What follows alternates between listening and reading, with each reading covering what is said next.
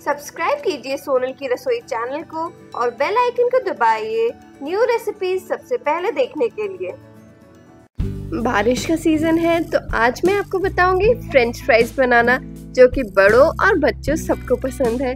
तो दोस्तों, चलिए आज हम बनाते हैं मैकडोनल्ड स्टाइल फ्रेंच फ्राइज दोस्तों, मेरा नाम है सोनल, आप आए हैं सोनल की रसोई में। चलिए शुरू करते हैं।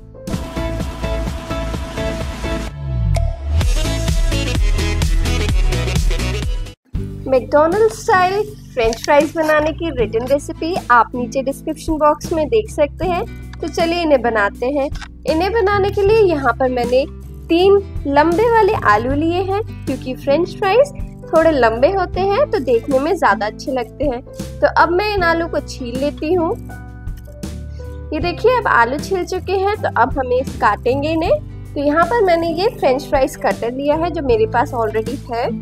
इसमें मैं मैं एक आलू लंबाई में रखूँगी और ऊपर से प्रेस करूँगी।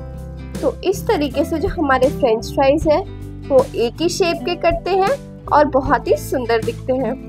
फ्रेंच फ्राइज कटर की अमेजोन लिंक आप नीचे डिस्क्रिप्शन बॉक्स में देख सकते हैं और ऑनलाइन ऑर्डर करके मंगा सकते हैं। इन फ्रेंच फ्राइज को काटने के तुरंत बाद आप इन्हें एक आइस कोल्ड वाटर में रख दीजिए, जिससे ये काले नहीं पड़ते, क्योंकि इसमें आयरन होता है और कार्बोहाइड्रेट होता है तो ये जल्दी काले पड़ जाते हैं। अगर आपके पास ये फ्रेंच फ्राइज कटर नहीं है तो मैं आपको उसका अल्टरनेटिव तरीका बता रही हूँ। आप इस तरीके से भी काट सकते हैं। पहले उसके चारों तरफ़ से एक रेक्टेंगुलर फॉर्म बनाइए, काट लीजिए और फिर उसे छोटे छोटे लंबे पीसेस में काट लीजिए। ये देखिए, मैंने सारे बना लिए हैं। काट लिए हैं और इन्हें मैंने आइस कोल्ड वाटर में रखा है ताकि ये काले ना पड़े, क्योंकि आलू काले जल्दी पड़ जाते हैं। आलू को काटने के बाद हम इन्हें पाल बॉईल करेंगे। इसके लिए यहाँ पर मैंने एक भगोने में पानी ले लिया है और पानी को मैंने गर्म कर लिया है। और अब हम इसमें डालेंगे अपने आलू के स्लाइसेस और इन्हें हमें ज़्यादा नहीं पकाना है। इन्हें हम करीबन तीन से चार मिनट के लिए धीमी आँच में पका लेंगे। तो देखिए, ये हमारे आलू हो गए हैं और जिसमें आप ये देख रहे हैं, झाग आया है। ये इसलिए क्योंकि इसने अपना कार्बोहाइड्रेट रिलीज़ किया है। तो ये अभी हमारे आलू बन के बिल्कुल रेडी हैं।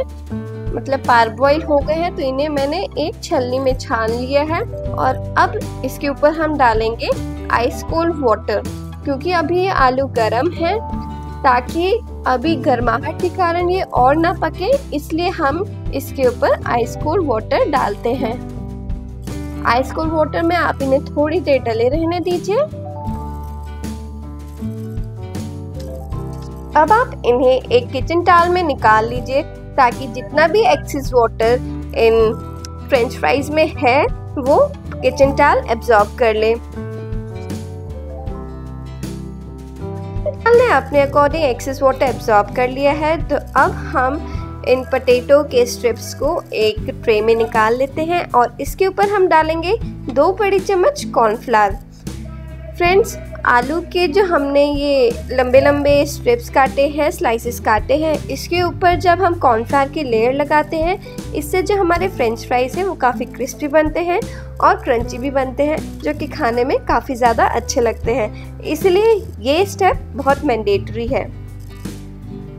आप अभी देख रहे होंगे कि मैंने अभी तक इसमें सॉल्ट ऐड नहीं किया है।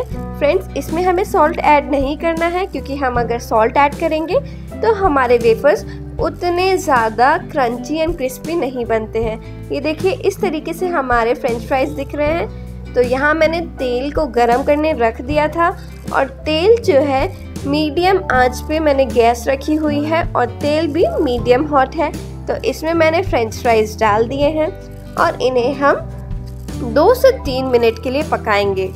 उससे ज़्यादा हमें ये फ्रेंच फ्राइज नहीं पकाने हैं इस स्टेज पे, क्योंकि हम फ्रेंच फ्राइज को डबल फ्राई करने वाले हैं। अब इन फ्राइज को हम कढ़ाई से निकाल लेते हैं और जब तक हम बाकी के फ्रेंच फ्राइज तलेंगे फ्राई करेंगे, तब तक ये जो हमारे फ्रेंच फ्राइज जिन्हें हमें ऑलरेडी फ्राई करके रखा है, इन्हें थोड़ा रेस्ट मिल जाएगा। ये देखिए, मैंने एक स्ट्रेनर में निकाल लिए हैं और ये लाइट ब्राउन है। अब जब मैंने सारे फ्रेंच फ्राइज अपने तल लिए थे तो अब जो फ़र्स्ट स्टेज वाले फ्रेंच फ्राइज थे, उन्हें हम वापस से फ्राई करेंगे। ये देखिए, मैंने वापस से इसे तेल में डाल दिया है। आप ध्यान रखें कि जो तेल आप लेंगे, वो थोड़ा गंदा हो जाता है कॉर्नफ्लावर की वजह से तो आप ज़्यादा तेल नहीं लें और जब उसे अगर आपको रीयूज़ करना है तो आप उसे छान के रीयूज़ करें। अब वापस से हमें ये French fries medium hot oil पे तलने हैं, ताकि ये हल्के गोल्डन ब्राउन हो, ज़्यादा नहीं हो, क्योंकि आपने तो देखे ही होंगे मैकडोनल्ड्स के फ्रेंच फ्राइज कितने अच्छे लगते हैं। उसी तरीके से ये हमने फ्रेंच फ्राइज अपने सारे तलने हैं। ये देखिए, अभी हमारे फ्रेंच फ्राइज बन के सारे रेडी हैं तो अब हम इन्हें एक किचन पेपर टाल में निकाल लेते हैं या फिर आप एक टिश्यू में भी निकाल सकते हैं ताकि जो एक्सेस ऑयल है वो एब्जॉर्ब हो जाए। अब जब ये गर्म ही हो, तब आप इसमें ऊपर से डाल दीजिए थोड़ा सा सॉल्ट और यहाँ मैं डालूँगी साथ में ब्लैक पेपर पाउडर जिसे आप काली मिर्च का पाउडर भी बोलते हैं। इससे थोड़ा फ्लेवर एंड टेस्ट बढ़ जाता है। आप अपने अकॉर्डिंग कोई से भी फ्लेवर्स ऐड कर सकते हैं। इट्स टोटली योर चॉइस और इस स्टेज पे नमक डालने से ये होता है कि हमारे क्रंची बने रहते हैं फ्रेंच फ्राइज तो दोस्तों, आपको मेरी ये रेसिपी कैसी लगी फ्रेंच फ्राइज की, मुझे लिख के ज़रूर बताएँ और आप इसे ज़रूर ट्राई करें अपने घर पे. और अगर अच्छी लगी हो मेरी ये रेसिपी तो प्लीज़ लाइक का बटन दबाएँ और आप मेरे चैनल को तो सब्सक्राइब करेंगे ना? आप मुझे दूसरी सोशल नेटवर्किंग साइट्स पे भी फॉलो कर सकते हैं। वहाँ मुझे रिक्वेस्ट भी भेज सकते हैं। Thank you